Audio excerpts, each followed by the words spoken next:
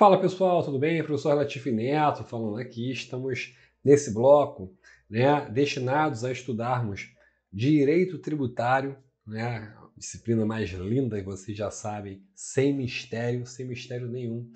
É, e nesse bloco especificamente iremos falar sobre a interpretação e integração da legislação tributária. Então, qual é a melhor forma, qual é a forma que a legislação nos ensina a interpretar a própria legislação tributária? Né? E como que é, se integra a legislação tributária nos casos concretos? Como é que funciona? Vamos lá? Bem, começando então pela interpretação da legislação tributária. Por que a gente diz interpretação? É, como está falando de um ramo do direito, e como vocês bem imaginam, você que é operador do direito, ou você que ainda que não trabalhe com direito, mas sabe como é que funciona, você vê que no direito tudo depende. Você está estudando vários ramos do direito constitucional, administrativo, tributário, penal, civil e tudo mais. E aí no direito tudo depende. E depende de uma interpretação, porque você tem determinados casos em que é, pode ser, pode ser, que uma determinada lei, um determinado artigo, um determinado dispositivo legal nos traga uma, uma interpretação dúbia. Acontece diversas vezes. Que é, inclusive, né, tema aí de é mérito de diversas discussões nos nossos tribunais superiores, ou até mesmo no Supremo Tribunal Federal, no STF. Quando pessoas interpretam uma determinada legislação da forma que lhe for mais conveniente. Isso é muito comum acontecer, né? que gera aí vários ajuizamentos de processos né, judiciais em âmbito nacional. É, então, o CTN, vocês vão ver, ele busca é, reduzir ou minimizar as chances de interpretações dúbias por meio dos seus próprios dispositivos. Então, ele nos, vai nos ensinar como é que nós devemos interpretar a legislação tributária. Então, é sobre isso que nós vamos falar basicamente nesse primeiro momento, nesse bloco. Que depois disso nós iremos falar também sobre a integração, tá bom? Então, sobre a interpretação ainda, de olho na tela, tá aí que inicialmente, né, cumpre destacar que o direito tributário ele é pautado sobre atos ou negócios regulados por normas, normas de direito privado e não normas de direito público. Sendo assim, para que haja análise de um fato gerador, por ser norma de direito privado, né, por exemplo, por vezes é necessário que saibamos a definição daquele que tenha praticado o fato gerador, com base nos conceitos do direito civil, né? Porque o direito tributário em si, ele é um ramo do direito público, mas, mas é, na interpretação aqui da legislação, por vezes, devemos nos valer do direito privado. Como é o direito civil? Você está muito acostumado a ouvir assim, ouvir assim ah, é, o fato gerador do tributo tal é esse. O fato gerador do IPTU, por exemplo, é a propriedade, o domínio útil ou a posse de um imóvel localizado na área urbana. E tu fala, pô, beleza, show de bola, já sei qual é o fato gerador do IPTU. Artigo 32 do CTN. Mas calma. Você fala, beleza, show de bola, vamos prosseguir, porque você já, já tem inserido no seu conhecimento né, o que é propriedade, o que é domínio útil e o que é posse. Primeiro momento. No segundo momento, você também já sabe, já está já tá, é, enraizado em você o que é um imóvel localizado na área urbana. O que é um imóvel, né? um bem imóvel que esteja numa zona considerada urbana. Mas o que eu quero dizer para vocês? Que na verdade, nesse da zona urbana aí, o CTN também diz, no seu parágrafo 1 do artigo 32. Mas o fato é que para que você interprete este fato gerador, inicialmente você aprendeu os conceitos do direito civil, ou seja, o que é um bem imóvel, o que é propriedade, o que é posse e o que é domínio útil. Isso você tem no Código Civil, ou seja, o conceito dessas palavras. E aí, quando chega no direito tributário, que fala que o fato gerador do IPTU é a propriedade, domínio útil ou a posse de um imóvel, de um bem imóvel localizado na área urbana, você já sabe interpretar diretamente ali no ramo tributário, porque esses pequenos conceitos fracionados você já teve no direito civil. Entende? Agora, quer dizer então que o direito tributário vai depender do direito civil? E a resposta é negativa. É óbvio que não. Aqui, diversas vezes, eu utilizei para vocês a expressão por vezes. Então, por vezes, você vai ter a ideia conceitual né, de institutos que você aprendeu lá no direito civil. Perceberam?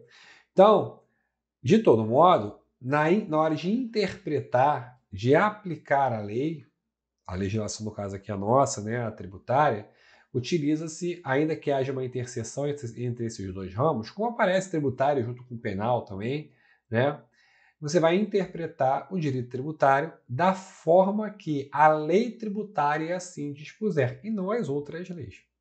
O artigo 109 do CTN, vou colocá-lo na tela para vocês, ele fala assim, ó, os princípios gerais de direito privado utilizam-se para pesquisa da definição, ó, direito privado, como por exemplo o direito civil, que a gente acabou de falar. Então, ele serve apenas para pesquisa de definição, como eu falei agora. O que é posse, o que é propriedade, o que é um bem imóvel, né? É, Utiliza-se para a pesquisa da definição do conteúdo e do alcance de seus institutos, conceitos e formas. Mas olha aqui, mas não para a definição dos respectivos efeitos tributários. Então, uma coisa depende da outra, independe da outra, melhor dizendo. Tá? É apenas para analisar conceitos, definições mas não efeitos. Perceberam a diferença? E aí, galera, você tem o seguinte: é... um exemplo aqui, o artigo 113 do CTN. O artigo 113 do CTN ele trata aí das obrigações tributárias. E aí nós temos duas obrigações tributárias: a obrigação tributária principal e a obrigação tributária acessória, respectivamente nos, nos parágrafos 1 e 2 desse artigo, artigo 113. É... a obrigação tributária principal é aquela cuja obrigação é de pagar, é de dar, é uma obrigação de dar em pagamento, e aí você paga tributo ou multa. Né? Então, quando alguém está pagando um tributo ou pagando uma multa, nós temos aí a obrigação tributária principal. Mas além dela, nós temos uma obrigação tributária acessória, que é aquela obrigação de fazer ou não fazer. Então, ao mesmo tempo que você tem uma obrigação tributária principal de pagar o ICMS, por exemplo, no estabelecimento comercial, aquele estabelecimento precisa cumprir também obrigações tributárias acessórias, como declarar o ICMS, emitir nota fiscal. Então, ou seja, são outras obrigações diferentes de, do pagamento. Né? São as chamadas acessórias. Pergunto para vocês, tá? Pergunto para vocês. Se vem uma lei, se é publicada uma lei estadual isentando o ICMS de determinados estabelecimentos comerciais, ao qual este hipotético que acabei de falar para vocês esteja enquadrado, é, esse, então, uma lei de isenção, vem isentando as operações de determinado ramo de atividade comercial. E aí, o que, que vai acontecer? Esse estabelecimento vai deixar de pagar, estar dispensado legalmente ao pagamento do ICMS. Não vai, não vai precisar pagar. Se ele não precisa pagar, ele não precisa então cumprir com a sua obrigação tributária principal. Perceberam? que é a obrigação de dar em pagamento. Artigo 113, parágrafo 1 do CTN. Mas eu lhe pergunto, ele vai deixar de emitir nota fiscal? E a resposta é não. Se eu tenho certeza, você fala, não, nota fiscal eu tenho que emitir, pô, até porque eu sou consumidor, eu tenho o direito de levar. É. Então repare que neste caso, a publicação de uma lei isentando determinado tributo, no, no exemplo que eu acabei de falar para vocês foi o imposto, o ICMS, é, a, a isenção ela vai atacar apenas a obrigação tributária, vai surtir efeitos né, na obrigação tributária principal, mas não afeta a obrigação tributária acessória. Quer dizer, no direito tributário, a obrigação acessória, que é a obrigação tributária acessória, independe da obrigação tributária principal. O que é diferente do direito civil. Lá no direito civil você tem uma obrigação principal de pagar, por exemplo, né, de pagar um determinado valor no contrato, e além disso, pagar a multa e juros, né, uma obrigação acessória em relação àquele contrato. Além disso, de prestar um determinado auxílio né, a, a, a outro contratante durante o tempo lá do contrato, enfim.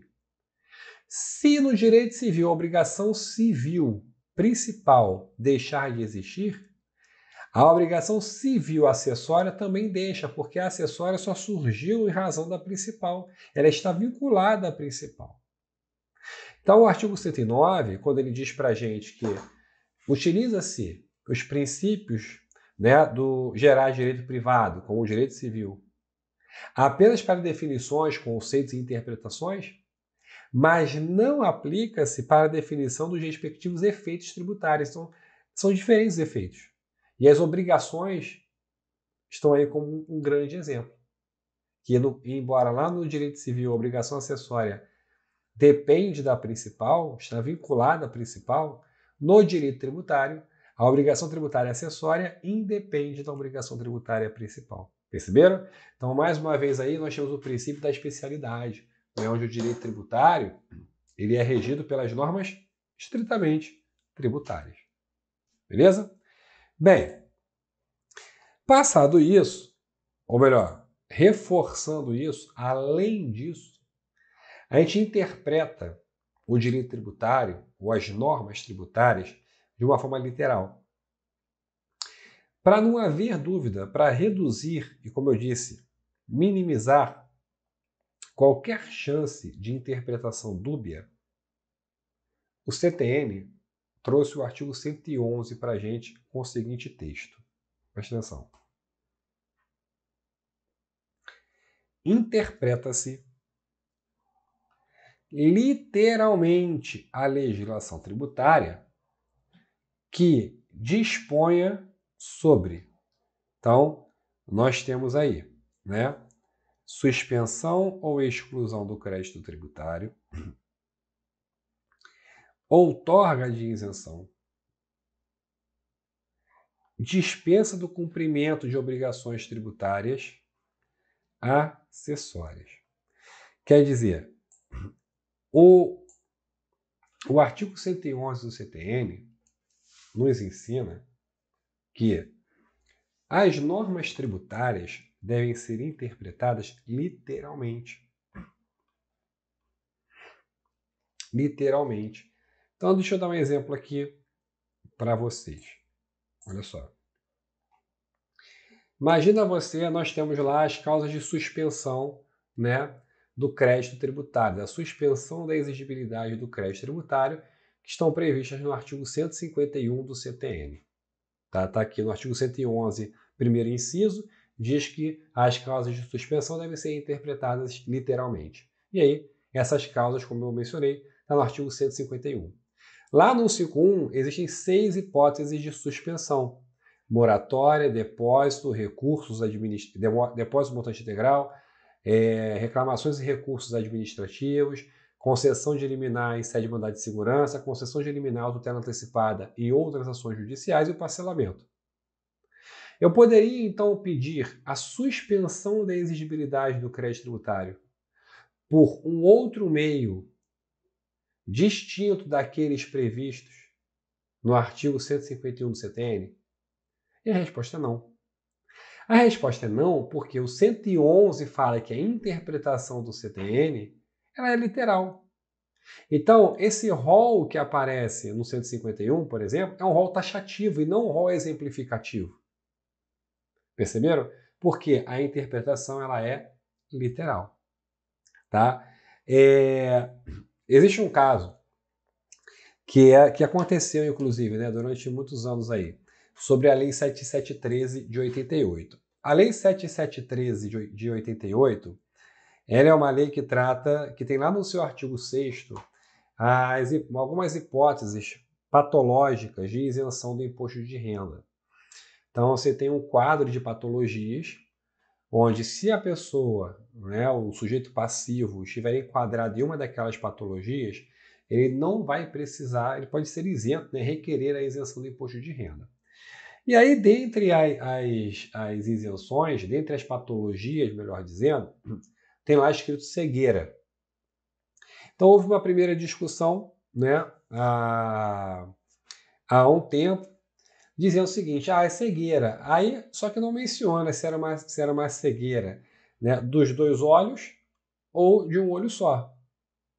Se é uma cegueira, uma cegueira bilateral dos dois olhos, ou se, só, se também pode se enquadrar, nesse caso de isenção, aquele sujeito passivo que só tem, que perdeu a visão apenas de um olho, monocular. Tá? É, e aí houveram, à época, algumas pessoas que entraram com, uma, um pedido de isenção, porque comprovaram a cegueira de um olho só, mas não do outro.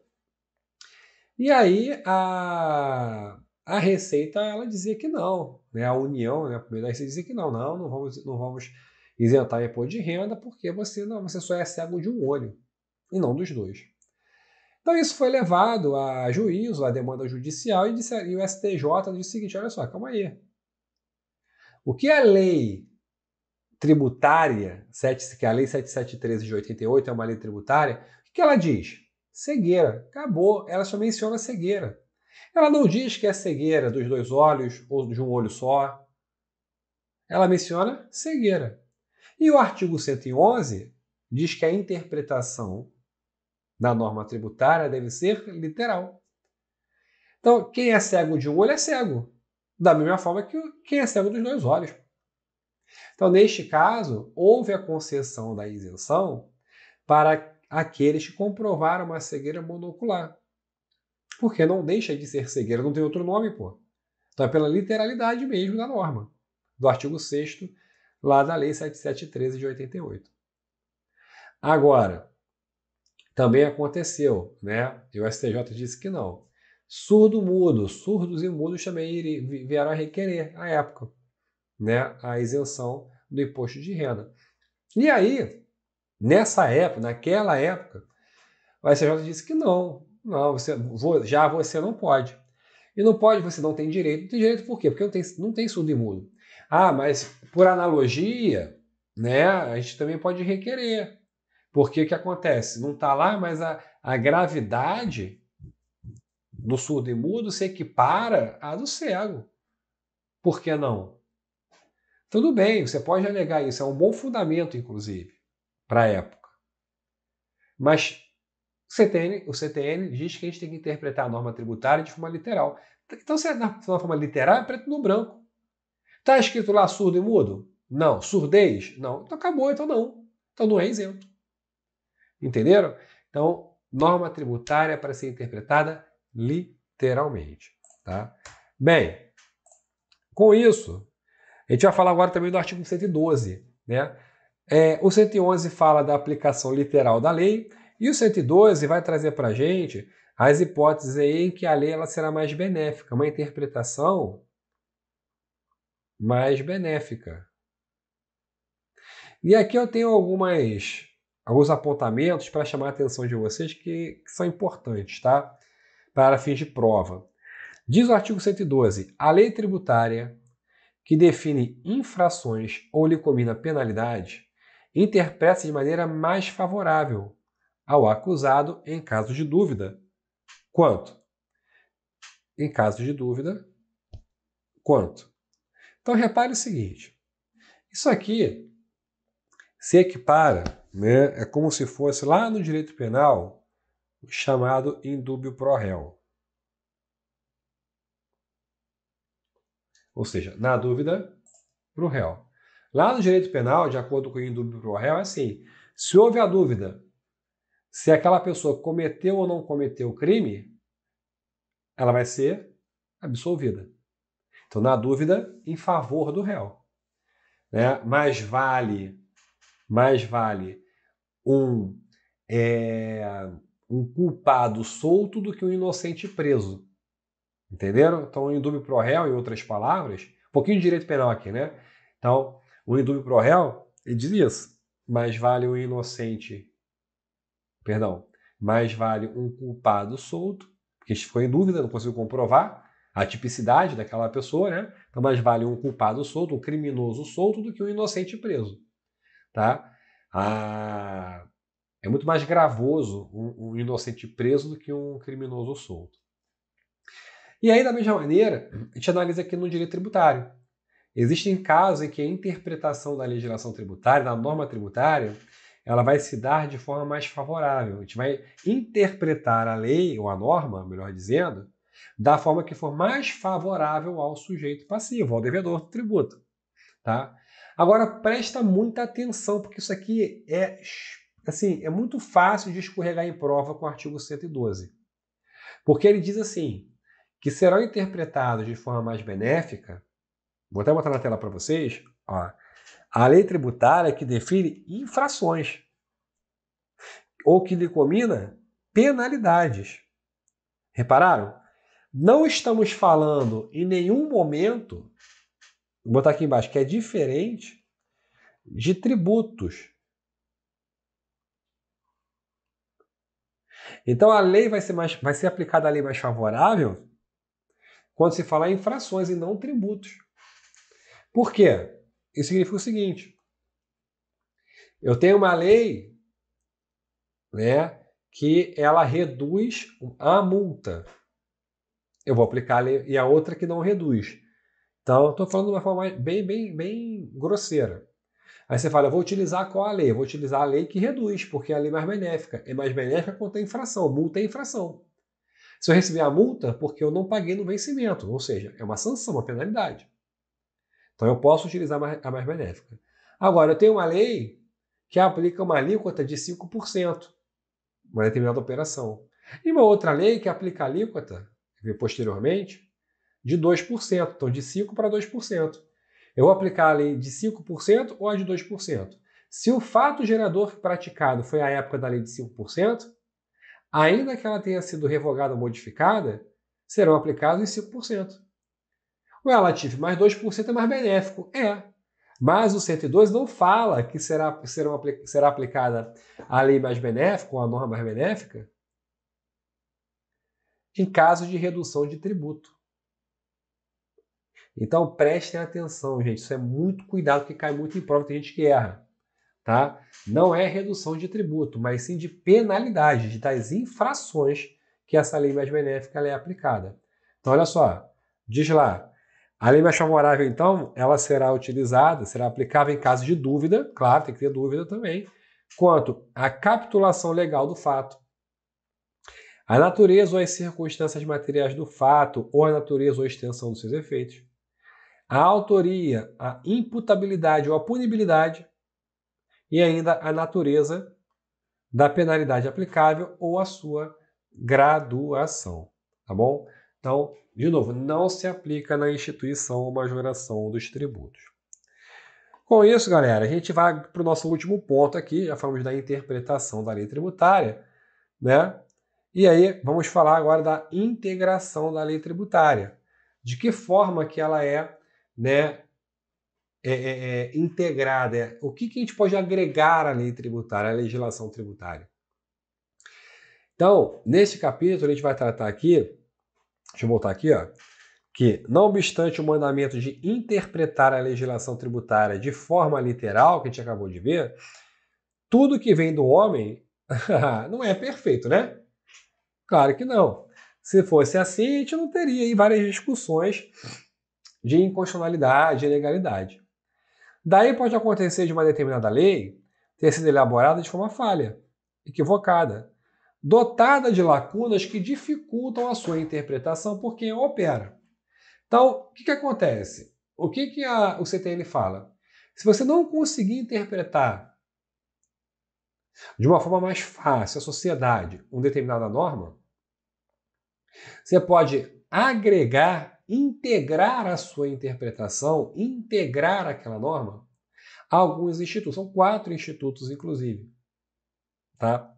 Que são a analogia, então você vai interpretar utilizando a analogia, os princípios gerais do direito tributário, os princípios gerais né, é, é, do direito é, do direito né, geral, os princípios gerais do, do direito público, melhor dizendo, e a equidade. Tá? Então, analogia, princípio geral de direito tributário, princípio geral de direito público e a equidade. É o que você vai poder utilizar. Vamos aprender sobre isso agora. E mais ainda, como que isso pode aparecer em prova? Vamos lá. Olha aqui. Primeiro, quem vai nos ensinar é o artigo 108 do CTN, que diz o seguinte: na ausência de disposição expressa, a autoridade competente para aplicar a legislação tributária utilizará, presta atenção, marquem aí, ó, sucessivamente na ordem indicada. Sucessivamente na ordem indicada. Então, o que vocês vão ver aqui, ou seja, a ordem que você vai utilizar esses institutos aqui, serão sucessivas. Analogia, os princípios gerais de direito tributário, os princípios gerais de direito público e equidade. Eu não posso, então, começar a tentar interpretar uma, uma lei falha, uma norma falha tributária, com a equidade. Porque existe uma hierarquia entre estas situações. Eu necessariamente preciso começar pela, pela analogia. Se eu não conseguir utilizar a analogia, aí eu parto para os princípios gerais de direito tributário. Caso eu também não consiga interpretar por meio destes princípios, eu me socorro dos princípios gerais de direito público. E aí, por fim, não conseguindo utilizar nenhuma das três hipóteses anteriores, aí sim eu chego na equidade. Eu obrigatoriamente devo observar a ordem dos incisos do artigo 108. O que a banca faz? Inverte na tua prova. Mas é fácil. Por que, que é fácil? Porque antes de eu explicar para vocês o que significa cada coisa, você vai aprender que nós temos aqui o, o, o famoso ATPE. ATPE. Então, quando se fala em integração, é o ATPE. Tá? Ou seja, nós temos aqui a analogia, os princípios gerais de direito tributário, princípios gerais de direito público e a equidade. Tá? Então, T de tributário, P de público, que aqui esses dois são os princípios, e E de equidade. Ou ainda, ou ainda, é, até o Pedro, até o Pedro integra. Até o Pedro integra, né? Que eu tenho aqui o AT, o AT e aqui o PE de Pedro. Fica mais fácil só o ATPE ou ainda numa frase bonitinha. Se você se chama Pedro, né, vai lembrar de você aqui no artigo 108. Beleza? O emprego da analogia não pode resultar na, na exigência de tributo não previsto em lei, tá? até porque, em razão do princípio da legalidade, é, o tributo só pode ser cobrado, instituído ou majorado mediante lei anterior que o defina, tá? Não posso ter tributo sem lei, então uma analogia não cria tributo. E o parágrafo 2 diz que o emprego da equidade não poderá resultar na dispensa do pagamento de tributo devido. Vamos ver os conceitos aqui desses quatro, dessas quatro formas de integrar a legislação tributária. Então nós temos a analogia. Analogia nada mais é que a aplicação de uma norma jurídica existente a um caso não previsto, mas que lhe seja semelhante. Né? São situações análogas, parecidas. Então, aquele caso que eu falei para vocês do, do, do surdo e mudo, né? ele vem sendo discutido, inclusive, na atualidade. Tá? O caso lá do surdo e mudo em relação à cegueira, tá? por analogia. Então, está tentando buscar analogia. Bem, princípios gerais de direito tributário. Se você já teve aula de princípios, se eu não conseguir utilizar analogia, aí eu parto para os princípios. Sei lá, isonomia, anterioridade, legalidade. Você vai tentar utilizar retroatividade, ou seja, todos os princípios tributários. Não consegui utilizá-los, aí sim eu parto para os princípios de direito público, né? como, por exemplo, a supremacia do interesse público sobre o privado. Se aí sim eu não conseguir utilizar, aí eu vou, chego na equidade.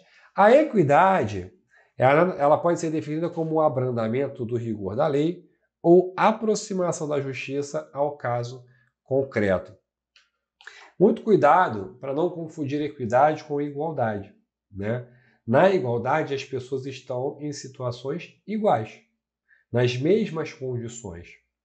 Na equidade, não. Na equidade, você oferece um direito para três, quatro, cinco pessoas que estejam em condições diferentes. Mas você aplica, você oferece um determinado, a lei, né, no caso, está oferecendo um determinado direito, de modo que aquele menos favorável fique em condições páreas com o mais favorecido. Por exemplo, tudo bem? Existe um, um, desenho clássico sobre a igualdade e a equidade, onde a igualdade nós temos um muro com três pessoas com tamanhos iguais e caixotes iguais. Ou melhor, três pessoas com, com, com, com tamanhos diferentes e caixotes diferentes. Assim, ó. Você tem, por exemplo, um muro aqui. Lá vou eu desenhar, hein? Eu tenho um muro aqui. E aí você tem uma pessoa grande. Você tem um outro menor e o outro menor ainda. Então, foram dados caixotes do mesmo tamanho para todos eles, representando a igualdade. Isso aqui é igualdade. Só que a igualdade, por vezes, não vai favorecer todo mundo. Repararam? Deixou esse cara aqui, ó, vendo mais ou menos do outro lado do muro, e esse aqui sem enxergar, porque ele é menor do que o primeiro. Botei todo mundo sem braço, né? Deixa eu botar um bracinho aqui para dizer que eu. Pronto, com o braço. Agora, qual que seria o, o, o bacana aqui? É você aplicar, se aproximar casos para atender todo mundo. Então, neste caso aqui, você deveria dar, né, por meio de uma lei, um caixote maior para aquela pessoa menor, que ela possa enxergar.